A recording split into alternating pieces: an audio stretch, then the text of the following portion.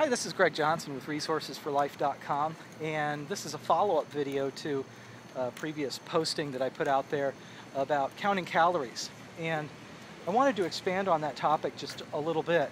Um, one of the challenges with counting calories, I referred to it as kind of maintaining a budget, a calorie budget or balancing your calorie checkbook.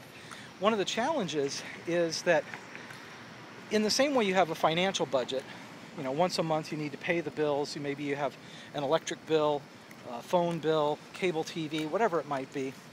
You need to equally distribute your funds to pay these various bills, these various expenses, right? So you don't want to, say, have uh, a, a, cost for renting videos, let's say. Let's say you spend, you know, $400 a month renting videos. Well, now all of a sudden you don't have any money left to pay for your rent or your groceries or something, right? So you have to you have to kind of spread your money around in order to meet your financial needs once a month.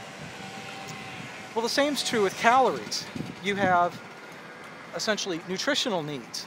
And if you waste all of your calories on, let's say, going and eating a, a full cheesecake, right? There go all your calories for the day.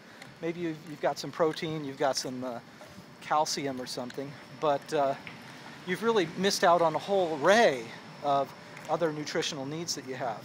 So that's really ultimately one of the challenges. Not only do you need to meet or be just under your caloric requirement for the day, you need to really meet all of those nutritional requirements um, daily and uh, do so in a way that you know doesn't cause you to go over your calories, which is kind of difficult. So anyway, that's the uh, nutritional insight and weight loss insight for the day.